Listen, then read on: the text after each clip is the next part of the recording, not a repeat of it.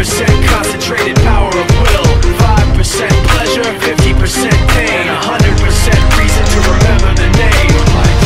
He doesn't need his name up in lights He just wants to be heard, whether it's the beat of the mic. He feels so unlike everybody else alone In spite of the fact that some people still think that they know him But fuck him, he knows the code It's not about the salary, it's all about reality And making some noise making a story Making sure his click stays up. That means when he puts it down, Todd's picking it up. Let's go. Who the hell is he anyway? He never really talks much Never concerned with status, but still even him starstruck. Humble through opportunities given despite the fact That many misjudge him cause he makes a living from writing raps. Put it together himself, got a picture connects. Never asking for someone's help, or to get some respect. He's only focused on what he wrote. His will is beyond reach And now it all unfolds,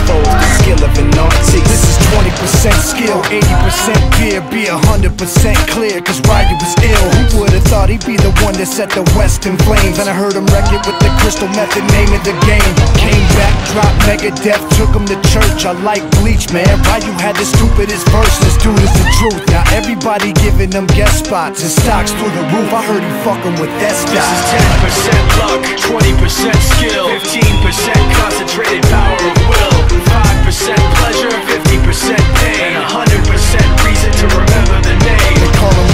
sick and he's spitting fire and Mike. Got him out the dryer, he's hot. Found him in Fort Minor with top, but a fucking nihilist. Porcupine, he's a prick, he's a cop. The type women wanna be within rappers Hope he gets shot. Eight years in the making, patiently waiting to blow. Now the record with notice taking over the globe. He's got a partner in crime, this shit is equally dope. You won't believe the kind of shit that comes out of this kid's throat He's not your everyday on the block. He knows how to roll with what he's got, making his way to the top. He don't think it's a comment on his name. People keep asking him, was it given that birth that doesn't stand for an acronym? No, he's living proof. Let him rock in the booth. He'll get you buzzing quicker than a shot of vodka with juice. juice. Him and his crew are known around as one of the best, dedicated to what they do and give 100%.